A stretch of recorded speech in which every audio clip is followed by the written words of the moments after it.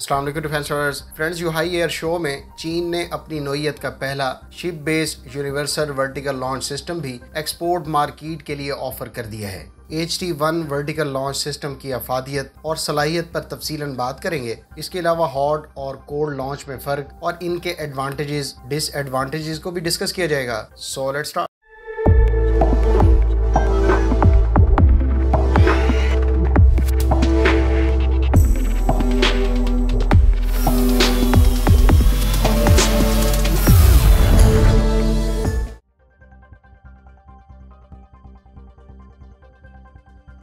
start naval ships और submarines में इस्तेमाल होने वाले यूनिवर्सल वर्टिकल लॉन्च सिस्टम दरअसल रिवायती लॉन्च सिस्टम की बजाय मुख्तलिफ़ अकसाम के मिसाइल को एक ही सेल से फायर करने की सलाहियत के हामिल होते हैं। इसके अलावा जदीद वर्टिकल लॉन्च सिस्टम्स के एक सेल में चार लॉन्चर कैनिस्टर, जिनको क्वाड पैक कैनिस्टर भी कहा जाता है, उनकी मदद से मुतल शिप एक सेल से चार surface to air missile launch कर सकती हैं। यूनिवर्सल वर्टिकल लॉन्च सिस्टम्स की मदद से मौजूदा दौर की शिप्स को surface to air missile anti ship और लैंड अटैक क्रूज मिसाइल के अलावा एंटी सबमरीन मिसाइल भी फायर करने की सलाहियत हासिल हुई है। इस लॉन्च सिस्टम की बदौलत एक ही शिप को मल्टी मिशन के लिए बवक्त ज़रूरत मुख्तलिफ़ अकसाम के मिसाइल से लैस किया जा सकता है। एक और एडवांटेज जो यूनिवर्सल वर्टिकल लॉन्च सिस्टम से हासिल हुआ है, वो ये है कि मुस्तबिल के मिसाइल भी इनसे आसानी से फायर किए जा सकते हैं। लिहाजा नए मिसाइल्स की डेवलपमेंट के बाद लॉन्च सिस्टम की मॉडिफिकेशन या री इंस्टॉलेशन की ज़रूरत नहीं पड़ती। याद रहे कि अमेरिका के तैयार करदा M K forty one vertical launch system के बारे में इतलात हैं कि इसको इस वक्त दुनिया भर की ग्यारह नेवीज के जेर इस्तेमाल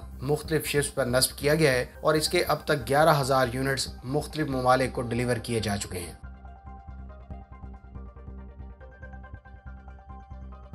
व्यूअर्स चीन ने एच टी वन ई नामी यूनिवर्सल वर्टिकल लॉन्च सिस्टम को जुहाई एयर शो 2021 में एक्सपोर्ट के लिए पेश किया है। इस सिस्टम को China aerospace science and industry corporation ने तैयार किया है। इस सिस्टम की खास बात यह है कि इससे न सिर्फ़ C one zero three long range supersonic cruise missile को फायर किया जा सकता है, बल्कि H Q nine B long range surface to air missile C eight zero two B subsonic antiship cruise missile के अलावा F M three thousand N short range air defence missile को भी फायर किया जा सकता है, जहाँ इस वर्टिकल लॉन्च सिस्टम के एक ही सेल से C M one O three long range antiship और land attack supersonic cruise missile और H Q nine B long range surface to air missile को फायर किया जा सकता है। वहाँ इसी एक सेल में क्वाड पैक लॉन्चर की बदौलत चार F M three thousand N short range air defence missile को फायर किया जा सकता है। इस सलाहियत की बदौलत सिर्फ़ आठ सेल्स के एक वर्टिकल लॉन्च सिस्टम से टोटल बत्तीस short range F M three thousand N missile fire किए जा सकते हैं।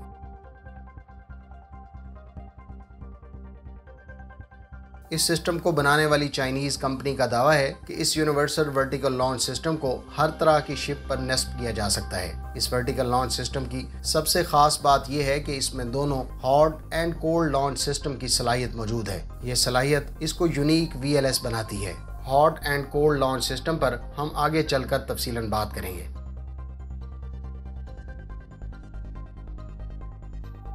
सबसे पहले अगर हम supersonic cruise missile C M three की बात करें तो ये मिसाइल 290 किलोमीटर की इफ़ेक्टिव रेंज रखता है। इस सुपरसोनिक क्रूज मिसाइल में लैंड टारगेट्स के अलावा नेवल आदाफ को निशाना बनाने की सलाहियत भी मौजूद है।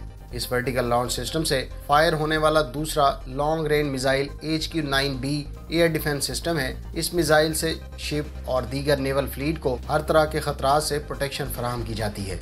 इस एयर डिफेंस सिस्टम की रेंज 180 किलोमीटर से बढ़ाकर 290 किलोमीटर कर दी गई है। वाज रहे कि इस एयर डिफेंस सिस्टम की मैक्सिमम रेंज 260 किलोमीटर बताई गई है। H Q nine B air defence system missile supersonic anti ship cruise missiles को शिप के आसपास 40 किलोमीटर के फासले पर इंटरसेप्ट कर सकता है, जबकि इसमें एयरक्राफ्ट हेलीकॉप्टर्स और ड्रोन्स को इंटरसेप्ट करने की कैपेबिलिटी मौजूद है। तीसरी टाइप का मिसाइल जो इस वर्टिकल लॉन्च सिस्टम से फायर हो सकता है, वो subsonic C M eight zero two B anti ship cruise missile है, जिसके बारे में इतलात हैं कि ये एंटी शिप के अलावा लैंड अटैक मकासद में भी इस्तेमाल होता है। इस मिसाइल में नए सीकर के इस्तेमाल के अलावा रेंज को भी 180 किलोमीटर से बढ़ाकर 290 किलोमीटर कर दिया गया है।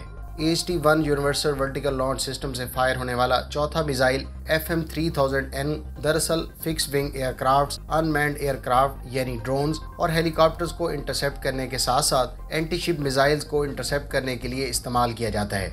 इसकी ज़्यादा से ज़्यादा रेंज 45 किलोमीटर बताई गई है।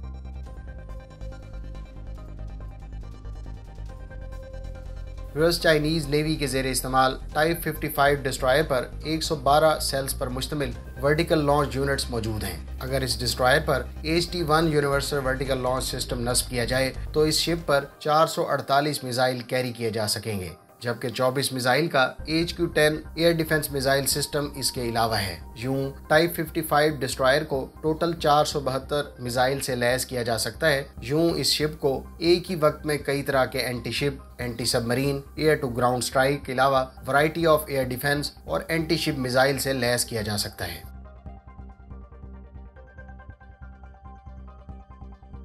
फ्रेंड्स, मिसाइल का लॉन्च करना सिर्फ़ रेड बटन प्रेस करने तक महदूद नहीं, बल्कि किसी भी मिसाइल की फायरिंग में दरअसल साइंस और इंजीनियरिंग का इस्तेमाल होता है, ताकि मिसाइल को सेफली फायर किया जा सके। वर्टिकल लॉन्च सिस्टम दो तरह के मिसाइल फायरिंग मेथड इस्तेमाल करते हैं, जिसमें से एक को कोल्ड लॉन्च और दूसरे को हॉट लॉन्च सिस्टम कहा जाता है। हॉट लॉन्च में मिसाइल सेल के अंदर ही जलकर सेल से बाहर निकलता है, जबकि कोल्ड लॉन्च में गैस जनरेटर की मदद से मिसाइल को दरअसल एक गैस के ज़रिए सेल से फायर किया जाता है। लेकिन ये गैस जनरेटर मिसाइल का हिस्सा नहीं होता। इस मेथड में मिसाइल लॉन्च होने के बाद इजनेट यानी जलता है। हॉट लॉन्च सिस्टम को इजेक्शन मैकेनिज्म की ज़रूरत नहीं होती, लेकिन इसके लिए एक तरह का तरीकाकार इस्तेमाल होता है ताकि मिसाइल से निकलने वाली हीट और एग्जॉस्ट को जायल किया जा सके। क्योंकि अगर ये तरीकाकार इस्तेमाल ना हो तो जिस सेल से ये हॉट लॉन्च मिसाइल फायर हुआ है, इसमें पैदा होने वाली बेपना हीट के साथ दीगर सेल्स में मौजूद दूसरे मिसाइल को ये हीट जला सकती है। यूँ ये हॉट लॉन्च मिसाइल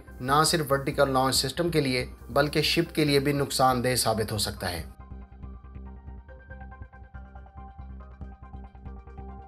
दोनों सिस्टम्स की अगर अफादियत की बात करें तो हॉट लॉन्च सिस्टम कोल्ड की नस्बत इसलिए ज़्यादा सस्ता, हल्का और स्मॉल है क्योंकि इसमें अलग से मिज़ाइल के लिए इजेक्शन सिस्टम की ज़रूरत नहीं होती। बल्कि हॉट लॉन्च में मिज़ाइल अपने इंजन का इस्तेमाल करते हुए लॉन्चिंग सेल से प्रोपेल करते हुए बाहर निकलता है। यही वजह है कि इस मिसाइल को डेवलप और प्रोड्यूस करना नस्बता आसान और सस्ता है। ख़ास तौर पर जब इस हॉट लॉन्च सिस्टम को किसी छोटे मिसाइल के लिए डिज़ाइन किया जाए। लेकिन डिसएडवांटेज के पॉइंट ऑफ़ व्यू से देखें तो हॉट लॉन्च में खराबी आने से मिसाइल वर्टिकल लॉन्च सिस्टम की ट्यूब को तबाह कर सकता है, जबकि कोल्ड लॉन्च सिस्टम में इस तरह के हादसे पेश आने के चांस नहीं होते।